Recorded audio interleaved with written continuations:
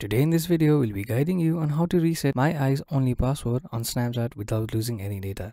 But first, what we need to know is that after we reset the password of My Eyes Only, all our data including photos, videos and memories will be deleted.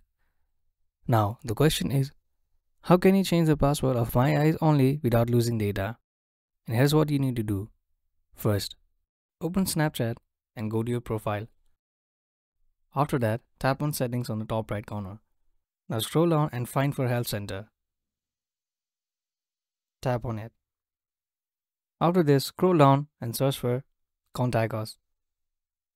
Now, you'll be redirected to the support page. After this, search for an option I need help with Snapchat feature.